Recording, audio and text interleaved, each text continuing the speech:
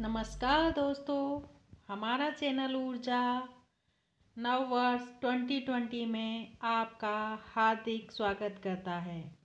दोस्तों, आप लोग न्यू ईयर ईव मना रहे होंगे, कल से आपका नव वर्ष शुरू हो रहा है।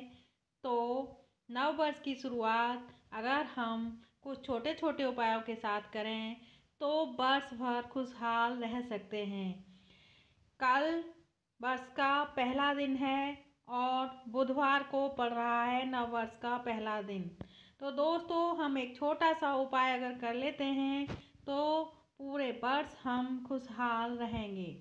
जैसा कि हमें पता है कि बुध पानी का कारक है बुध बुद्धि का कारक है बुध हमारी बहन, बेटी, बुआ का कारक है, इनसे रिश्तों का कारक है।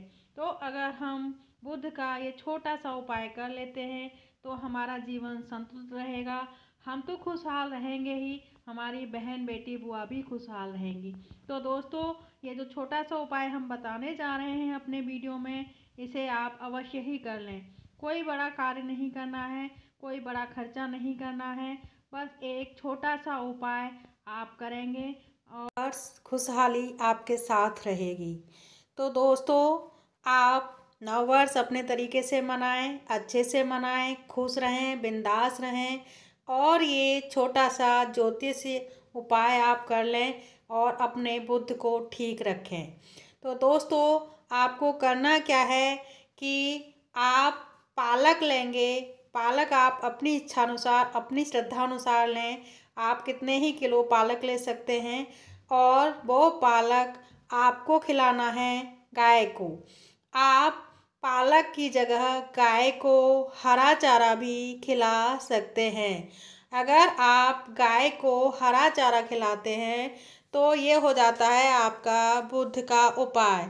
और बुद्ध हमारी वाणी का भी कारक है। तो दोस्तों, आप समझ सकते हैं कि अगर हमारी वाणी सही रहती है तो हमारे रिश्ते स्वतः ही सही रहते हैं। ज़्यादातर चीज़ें वाणी के ही खराब होने से ख़राब होती हैं। हमारे रिश्ते भी वाणी की वजह से ही कई बार ख़राब हो जाते हैं। और बुद्धि भी हमारी बुद्ध की ही कारक है। तो हम बुद्ध का उपाय करके अपने जीवन को खुशहाल बना सकते हैं। तो दोस्तों, कल नव वर्ष की शुरुआत गाय को चारा खिलाने के साथ करें और खुश रहें। आपको हमारे वीडियोस कैसे लग रहे हैं और आप अपने विचार इस बारे में अवश्य रखें, अपनी राय अवश्य दें कि आप और क्या हमारे वीडियोस में देखना चाहेंगे। धन्यवाद आपका पूरा वीडियो देखने के लिए। वीडियो को लाइक करें, सब्सक्राइब करें और शेयर भी करें। नमस्कार दोस्तों, फिर मिलेंगे।